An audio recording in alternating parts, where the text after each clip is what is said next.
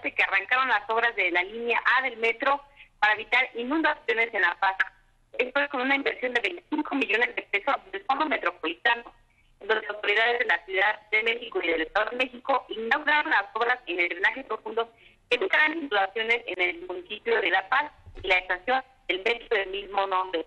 Es que en la Valle de los Pinos hace un año se vieron afectadas por las lluvias que pues, fueron muy pesadas y sobre todo inundaron parte de estas colonias. Y bueno, comentarte que esta inauguración logra referente a la introducción de drenaje fluvial e interconexión con el Cárcamo 10.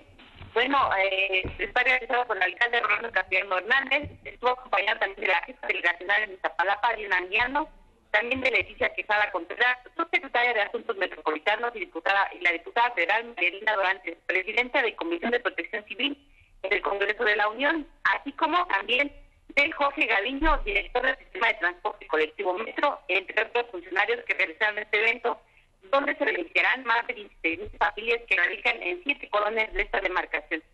Y bien, por último, Rubén, comentarte que el alcalde Rolando Castellanos, perdón, eh, dio un aproximado del mes de junio de este año, en donde termine esta importante obra que habrá de beneficiar a muchas familias y sobre todo evitarán inundaciones en la temporada de lluvia.